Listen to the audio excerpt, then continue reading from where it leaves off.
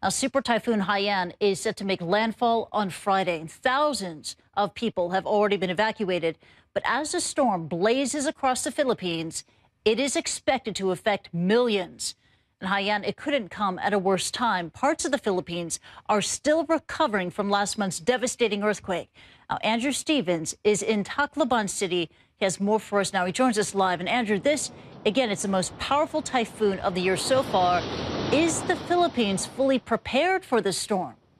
President of the Philippines has just been on national television, Kristie, which is a highly unusual event to talk about the preparations that have been made and about the fact that the government stands ready to help the people in this area when the storm hits and, of course, in the aftermath. It's very difficult to gauge whether enough has been done. Uh, the civil defence is saying they've moved about 4,000 people from the low-lying areas and from the areas which are susceptible to landslides. But this area I'm in, in Leyte, has about one and a half million people. And this, and I can't uh, overstate the severity of this storm.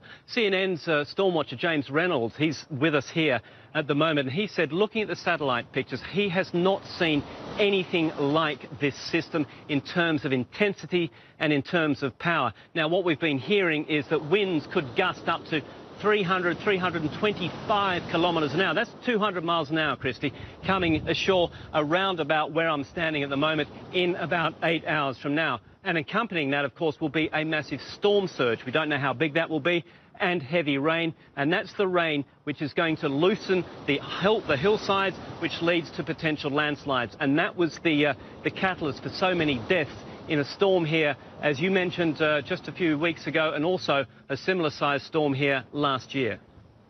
Yeah, and very soon you and the team have to move uh, definitely away from the coastline where you are now. Andrew, could you also tell us about the vulnerability of the survivors of that earthquake? That was a 7.3 magnitude earthquake. It took place there last month. Because now, and many of them are homeless and tents, they now have to face down this storm, this super typhoon. That's right. Uh, tens of thousands of people are being reported to still be living in, in tents. And this, uh, this, this was an earthquake which uh, struck this region uh, only a few weeks ago. Those people, as you point out, are very, very vulnerable, uh, particularly to, uh, to, to, to, the torrential rains and also the, the, the, incredibly strong winds that are going to hit here.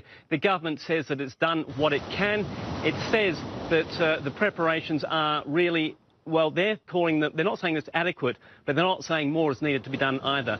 These people, along with the people along this low-lying coastal area, just flying in tonight, Kristie, all along this area. There's lights twinkling along the foreshore. People are still living there. They haven't moved there. Uh, again, James Reynolds, he has uh, done a recce around this area and he said there are so many people here now just sitting, waiting for the storm to hit. They are so close to the waters front and with a massive storm surge plus these incredibly strong winds, uh, you have to wonder just how they are going to survive this.